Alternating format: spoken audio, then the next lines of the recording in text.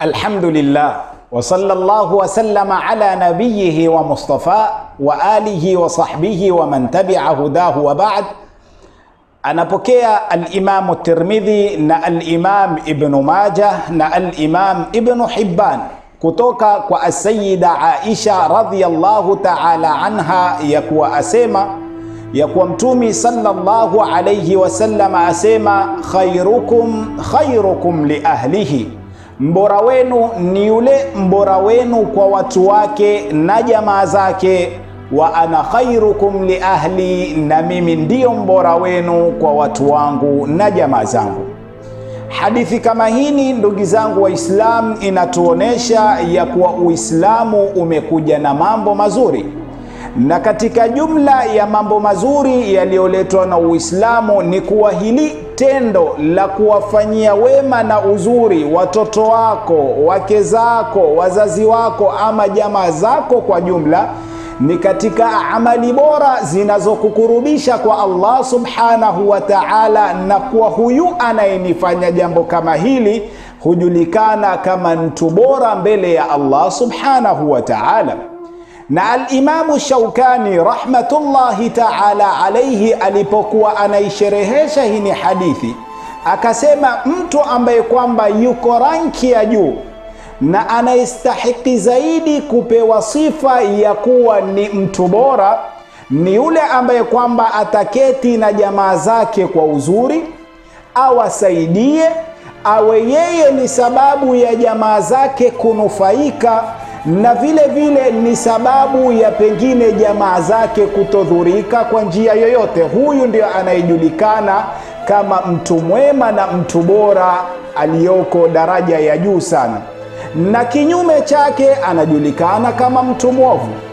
Asema, na la kushangaza ni upate mtu anakutana na watu wake na jamaa zake, hakuna mtu mbaya na anayejifanya shujaa na mwenye kheri kidogo sana kama yeye, kisha anapokutana na ajanibu, watu wengine wa nje, hakuna mwema na mzuri na mkarimu kama yeye. Mambo kama haya ni ya kushangaza ndugu zangu Waislamu, lakini ndiyo mambo ambayo kwamba tunayoishi ndani yake.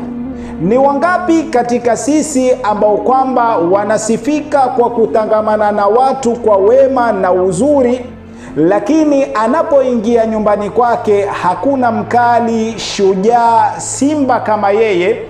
Anapofika ndani ya nyumba, pengine mke, watoto na wazazi wanatetema wanapotaka kufanya jambo lolote na wangapi katika sisi nje wanasifika ya kuwa ni wakarimu, wanasaidia na wanatoa, lakini inapokuja nyumbani kwake hakuna mgumu, bakhili na anaihisabu mpaka shilingi kama yeye. Na pengine umpate mtu kama huyu awache mia mbili, mia tatu ama mia nne ndani ya nyumba, ndio chakula cha asubuhi, mchana na usiku kwa watu wote wanaoishi pale ndani yake, na hataki kuulizwa chochote, lakini wanaofaidika ni watu wengine wa nje, marafiki na wengineo.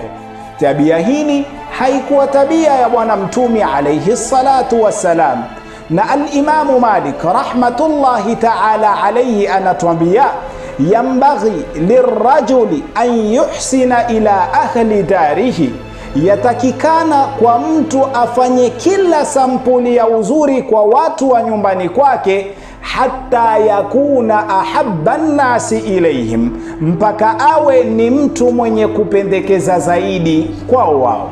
Kwa hiyo mbora wenu ni yule mbora wenu kwa watu wake na jamaa zake.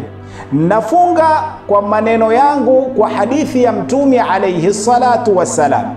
Anapokea Alimamu Tirmidhi kutoka kwa Sayidna Abu Huraira radhiyallahu taala anhu ya kuwa Mtume sallallahu alaihi wasallam asema akmalu lmuminina imana, mkamilifu zaidi wa waumini kwa imani. Ahsanuhum khuluqa, ni yule mzuri wao wa tabia. Wa khiyarukum khiyarukum linisaihim, na wabora wenu ni wale wabora wenu kwa wake zao. Wa sallallahu wasallama wabaraka ala sayidina Muhammadin وآله وصحبه وسلم والحمد لله رب العالمين.